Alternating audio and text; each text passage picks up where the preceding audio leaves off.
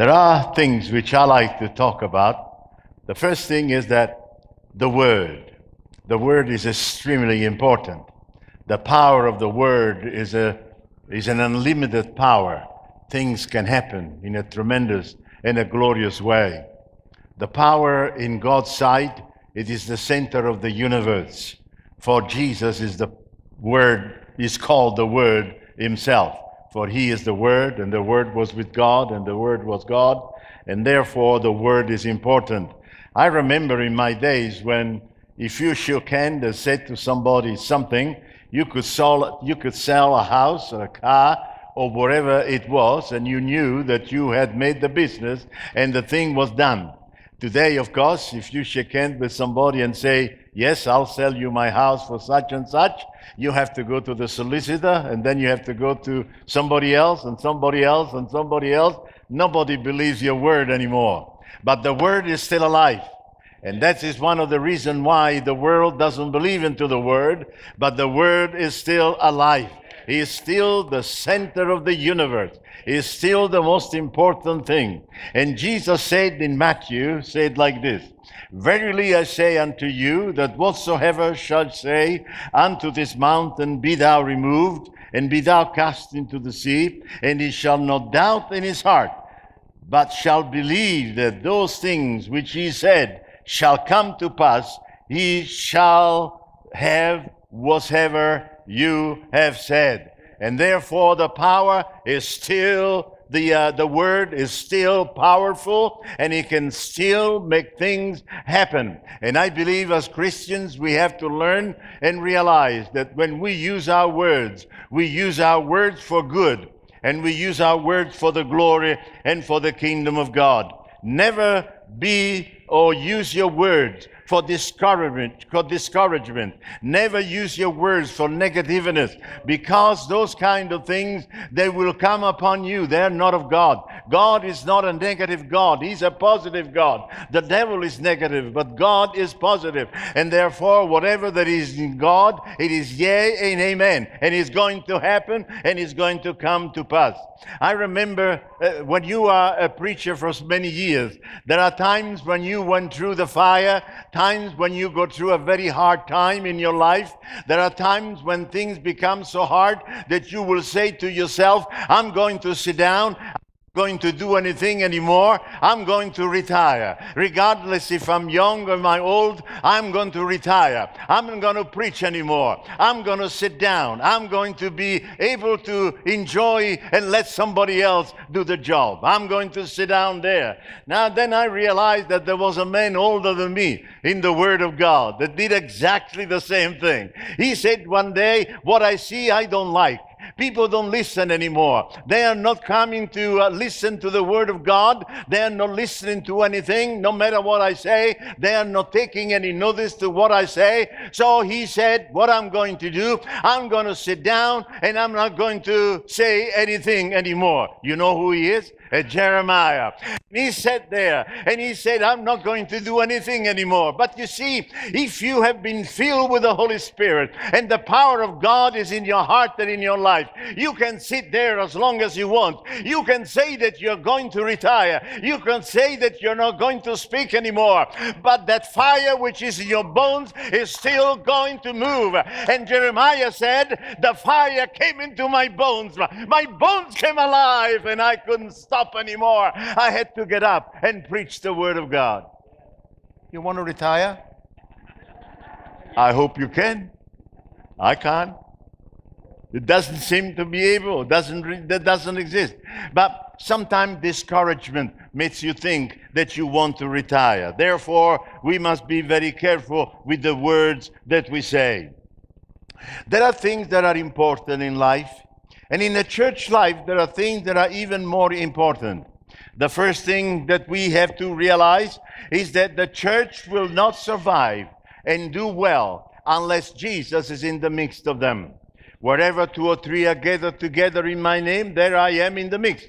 And therefore, if he's not in the midst, things are not going to happen. Things are not going to work. We can shout, we can yell, we can sing until we have no more voice. We can jump up and down until we get so tired that we get down to the floor. We can do all kinds of things, but unless Jesus is there, nothing is going to happen. It is only when Jesus is present that things are going to happen. In Matthew chapter 6, uh, 17, verse 16, there was a man who came to the disciples because he had a sick person in his family. He came to the disciple and said, Please cure him, pray for him, do something for him. They brought it to him, and the disciples could do nothing. Why? Because Jesus was somewhere else. They were over here, Jesus was over there. They could not heal him. Then, my friend, I can't heal anybody unless Jesus is there. The, the uh, uh, uh, Pastor Neil cannot heal anybody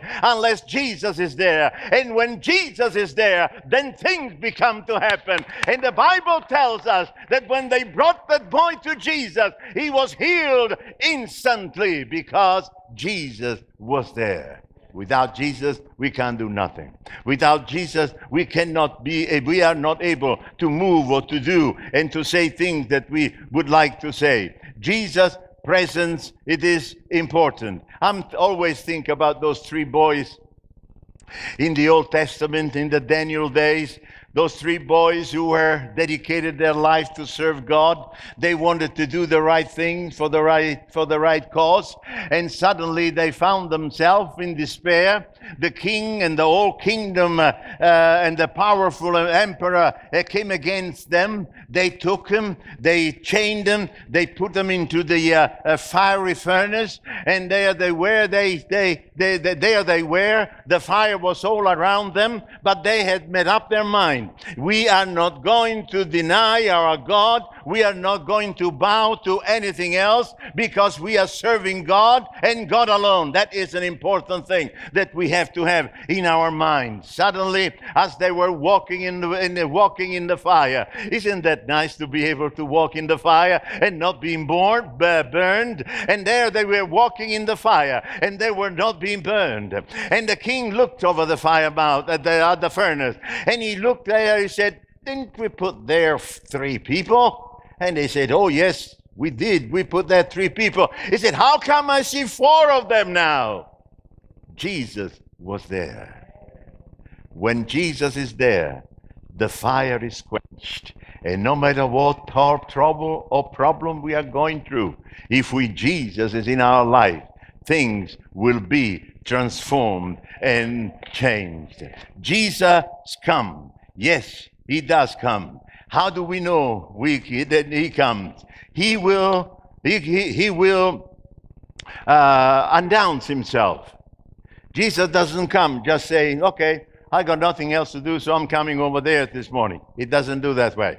Jesus will announce himself. He know, you know, when Jesus is coming. And he comes at the right moment for the right time. The Bible tells us that angels are the announcer of the presence of the Lord Jesus Christ. Somebody told me a couple of weeks ago he said, Brother, he said, I saw angels in the church. That excite me because few months back I saw angels in our church right here that were uh, surrounding the place over there. That excite me because when angels start coming, that means that Jesus is not far away. He's coming in. And my friend, my friend, if we persist in believing in God and believing and wanting to do the will of God and the things of God, if the angels are coming, they are looking forward forward and Jesus will be coming right in the midst of them. I just don't want just another, another movement of the Holy Spirit. I want Jesus to come and to be present in our midst so that wherever we go, people will know that we have been with Jesus. Somebody the other day told me there is a big revival going on in Australia, and you know you don't know anything about it. I didn't know anything about it, but there is thousands, thousands of people who are being getting saved and filled with the Holy Spirit right up in the northern part of Australia. And for, uh, unfortunately enough, it's happening among the Aborigine. And I couldn't figure out, nobody ever said anything into us. But then I went into Google and I began to go, I like Google. And I began to look, uh, look into it. And in Google tells me that 1,000 people were saved by the power of God. That's how Google say it. 1,000 people were saved by the power of God. And one of the elders prayed for a, uh, for a man that was dead and he came alive my friend, those things are happening and they're happening now. That means that Jesus is coming. And when Jesus comes, things will change. I expect Jesus to come in our mix. I expect Jesus to come right in our church. Why in our church? Because I am selfish. I want to see Jesus and I want to see him right here. And I, I believe that I'm right when I say that I am selfish. When Jesus comes, things will come and have been changed. When does Jesus come? He comes right at the right time. I told you the story of the family that I know. The old lady, she used to come to our, our uh, house meeting in my father's place. And she, every time she come, she get up and testify. And she said, last night I slept on the stairs because my family's against me. They, they say that I have renounced our religion and therefore they are ostracizing me. Another time she came and she had bruises all over her face and her body. And she said, I was beaten by my husband and my, and my daughter as well. She helped and she would not deny the Lord Jesus Christ, but she kept praying that God would save them somehow, some way, in some way, in some way. The war was over. Revi- the revival came upon the country, and she finally she died. The Lord took her home. The Catholic Church will not do the uh, the uh, the honor of doing the funeral because she was not a Catholic any longer, and therefore nobody wanted her in that particular uh, environment, and so she had to have her, her uh, uh, funeral within the within the uh, Pentecostal church. That day, the whole church that knew her, they were all there at the funeral. The church was full to capacity for 500 people. The husband and the, and the daughter and the, grand, uh, the grandson and the son-in-law, they were there. They were sitting in the front and they were amazed how so many people were actually in love with their family, with their own mother and, and, and uh, with their own mother. And so they sat there the preacher came and he began to preach a message of hope, a message of a message of hope before the presence of God. The congregation began to uh, respond, and some of them were uh, some of them were uh, tearful, and some were uh, just praising God. At the end of the service, the husband and the daughter and the son-in-law and the grandson, all of which was the whole family, they stood up they came up to the front and they said, We are so sorry, O Lord, for what we have done to our father, to our mother. And, and, and, and, and, and, and, so, Lord, we want you to forgive us. And they raised their hands and tears came to their eyes and they began to ask God for forgiveness. And when the Italians do something, they're very emotional and they became very emotional. And the whole church became very emotional. You can understand that. And everybody was crying before the presence of of God. And that day, uh, that day, the whole family gave their heart to the Lord. She always believed that God was going to save her family. And every time she would stand up and testify, she would say, regardless of what, I know that God is going to save my family. And one day we are going to worship God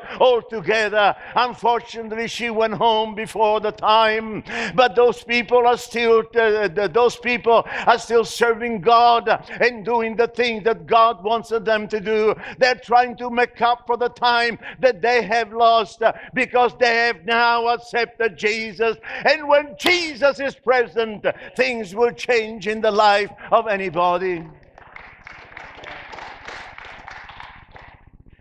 In Matthew chapter 9, verse 20, there is a woman who was in despair. Desperation had come to their life. She has spent every penny that she had for doctors, and doctors could not heal her. They couldn't do a thing about her.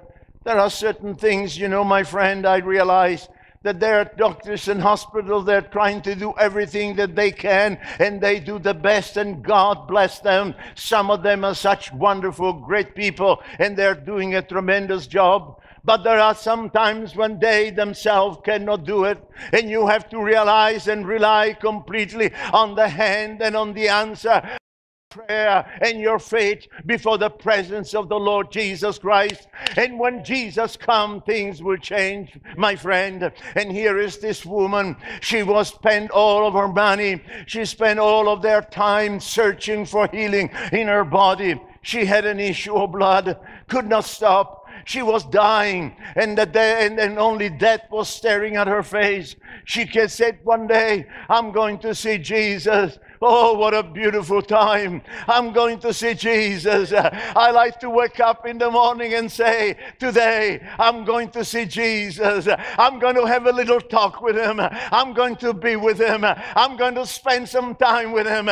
And this woman said, I'm going to see Jesus because I am in despair. I have no hope, and therefore I have to do something. She went, and my friend, sometimes we think that when we go to Jesus, everything is easy. Everybody's there. Everybody's there to help you out. And everybody said, Oh, come on, let's on. Let us do. Come on to Jesus. She didn't find it that way. She found that there were problems. There were troubles there. There was a crowd of people that was surrounding Jesus. And she could not come into she could not come to his presence and ask him to heal her. So she began to fight. I'm here now. I'm only facing death. I'm going to fight this crowd. I'm going to go close to Jesus as much as I could. Suddenly she was at the third line or the second line. There were still people around. She stretched her hand and touched the hem of the garment of the Lord Jesus Christ. My friend, when you touch Jesus, your life is changed. When you touch Jesus, your problems are solved. When you touch Jesus, you are healed. When you touch Jesus, things are going to happen. And I am hoping that as the angels are coming in our midst, that Jesus will come and things will happen. She did. You know the story. She got healed. You know the story. There was another man.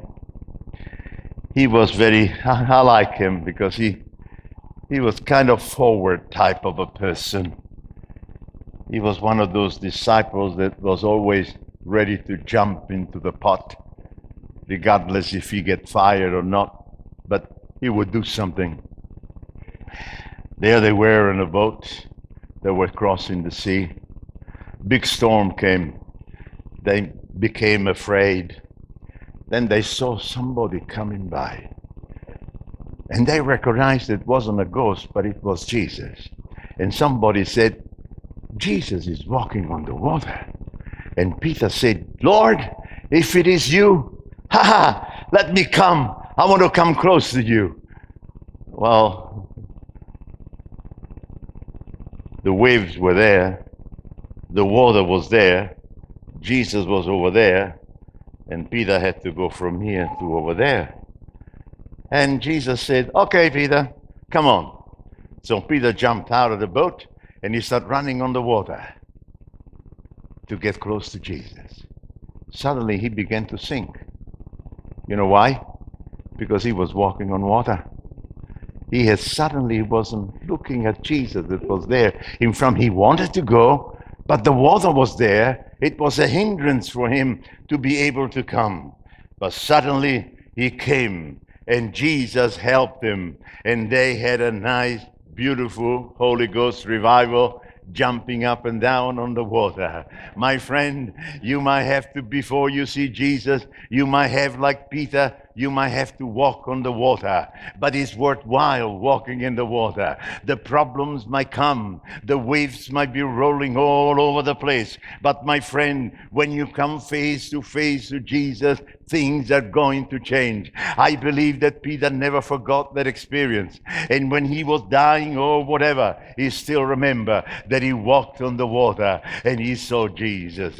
Oh, I wish I could do that. I wish I could do that. And then sometimes I think I haven't walked on water now, uh, a bodily type of water to be able to go to Jesus. But my friend, you know and I know, if you look in your life and you see your time and your experience, many times before you came to Jesus, you have to walk to the troubled water of this world before you were able to come and touch the hem of his garment. How many times you have to do that? Many, many times. But every time that you did it, it was rewarding. Jesus was there and he was helping. Then, of course, what about Lazarus? Jesus is the resurrection and the life. They couldn't believe that Jesus was that they, they thought that everything was lost. Mary and Martha, they said it very clear to the Lord. He said, Lord, if you were here, my son, my brother would have been alive, but you were not here. Now he's dead. And uh, Jesus said, Well, he will be resurrected. And Martha and Mary said, Oh, of course, I know the resurrection of the body. That time will come. He said, But from now until then, we are going to be widows. The my brother is not going to be here from now and then. And Jesus said, Don't you know that I am the resurrection and the life? That is what we have to believe with the bottom of our heart. Jesus said, I am the resurrection and the life. And the life. And with that moment and that day, in the front, in front of all so many people and so many educated people, Jesus called Lazarus out of the tomb and he made alive it again and he brought it back to his sister. What a wonderful thing. Wouldn't you like to see somebody be resurrected by the power of God? I would. I would love with the bottom from the bottom of my heart see somebody that is dead and be alive. I would have liked to be up to that uh, that reservation up there in the north when that elder prayed for that old uh, for uh, his grandson, whoever he was, in his in, in in his place, and he was dead, and suddenly he prayed and he came alive. I would love to see something like that. Maybe I will never be able to see it. Maybe, maybe. But I still believe. I believe that when the angels come, Jesus is following just right in the front, just in the back. And Jesus is the resurrection, and Jesus is the life. If we believe in Him, Jesus said to Mary and Martha, Do you believe that? And now today, I would like to answer to myself and to you do we believe that? Do we believe that He's a resurrection and the life? Do we believe that He can do all of these things and when He is present? If we do, my friend, it's going to happen again. It's going to happen again. The Bible tells us that it's going to happen again. At the end of time, when the time will come to an end, when the decision is made in heaven by God, this is the time that you, this is the time that my people will come back to me. The Bible says angels are coming again. You know that angels are always there. Let me talk about them it. Was angels that came to Abraham and said, Let us tell Abraham, our friend, what we are going to do to Sodom and Gomorrah. The angels told him, and they knew, and Abraham knew, and he had a chance to be able to pray for God to spare that city. There was an opportunity in there for Abraham to do. It was uh, an angel that came to a young lady called Mary in the middle of uh, uh, in the middle of the Middle East. There he came and he said, Mary, he said, God has chosen you, and He has chosen you. You're going to bear a child, and that child shall be the Savior of the world. You shall call him Jesus. And she said, But how, how can I? And uh, but the angel was the announcer that Jesus was coming by the way of Mary. Jesus was coming into the world. Then Jesus came again.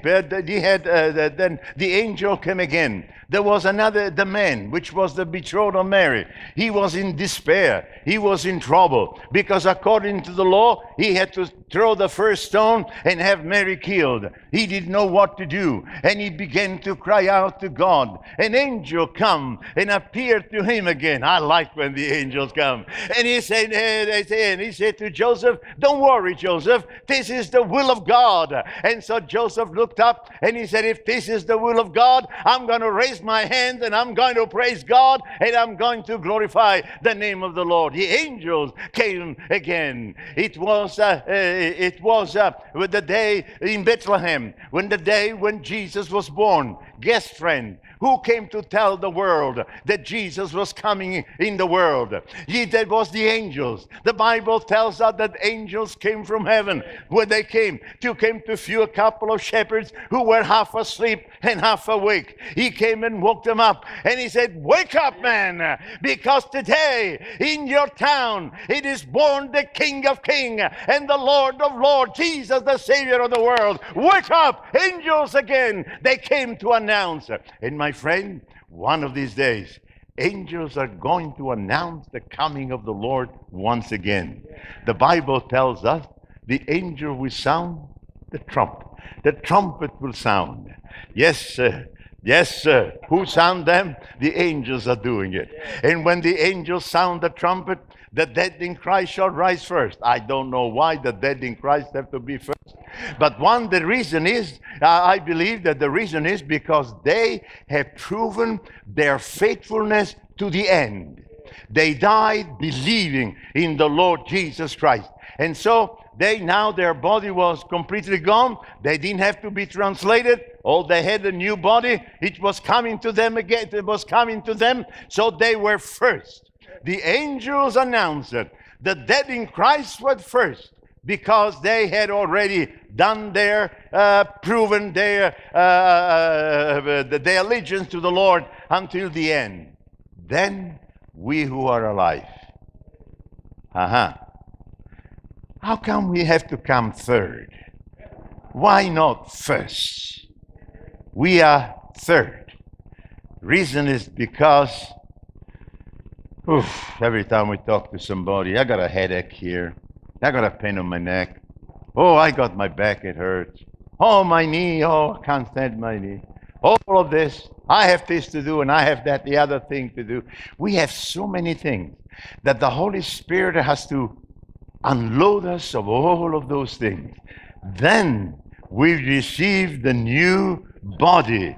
No more headaches, no more problems, no more bills, no more taxes. Ha ha. Well, glory. No more problem because all things are going to be changed. And my friend, the angel first, the dead in Christ was second. We who are alive will be third. And together we will be caught up into the air. And guess what? We are going to meet the Lord Jesus Christ in the clouds of heaven. For in the same way that He went, the same way He's going to come back again. We are going to meet Him over there, and together He's going to bring us before the Father and said, Father, these are those who believed in me, and they have been faithful. Now, here they are. They're yours. You give it to me, but I'm bringing back to you. And the peace, complete peace, is made between God and man. Angels, wonderful thing. If angels start appearing in our midst, my friend, I'm waiting for the second wave. I'm waiting for Jesus. I would love to see Jesus walk right through the door, come right into the middle. Whew. You know, wherever two or three are gathered together, Jesus in the midst of them. How many believe that? Let me see if you believe it. Wherever two or three are gathered together, that means that Jesus is here. Mm. We don't see him. That's not his fault. Not his fault. It's our fault. That's why we don't see him. Maybe we haven't heard the angel sound the trumpet yet. But he's here in our midst. What are we going to do with him? Are we going to go home and say, okay, nice, nice service? We go home and all is finished. Or we going to say, Lord, we believe in you. We want to take you with us wherever we go so that your glory be manifested wherever I go. God bless you.